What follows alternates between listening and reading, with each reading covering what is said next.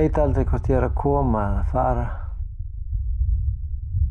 Og þaðan að síður hvert ég er að fara eða hvaðan ég er að koma. Ég bara flæði áfram. Held mér á floti. Fylgist með eftir bestu getu.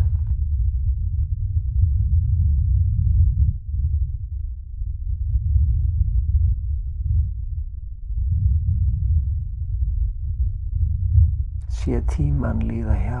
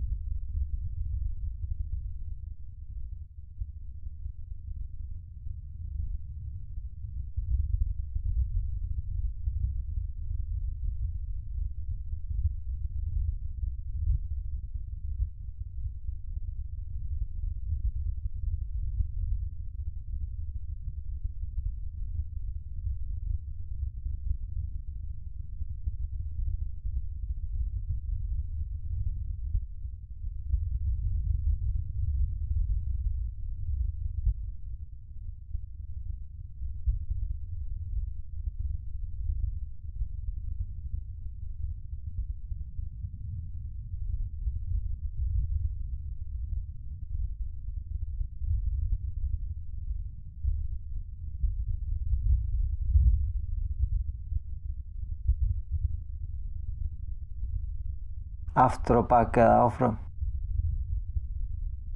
Á réttunni eða röngunni. Er það ekki bara eftir hverju megin maður skoðar?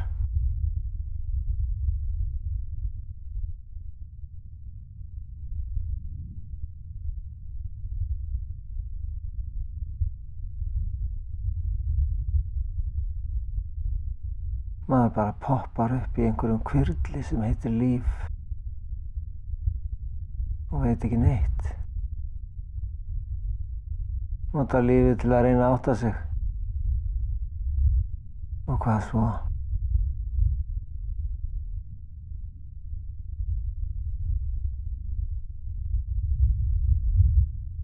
Hvert skal haldið?